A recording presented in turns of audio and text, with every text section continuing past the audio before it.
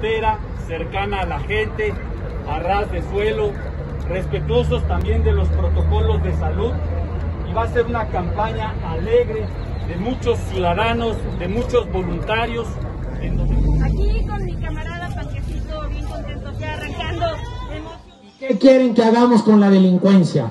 A la delincuencia hay que sacarlas a patadas de Puebla. la nueva normalidad. No se va a poder hacer política como veníamos haciéndola antes. Vamos a tener que tomar algunas, algunas medidas y sobre todo sanitarias para no poner en riesgo a nadie de la población.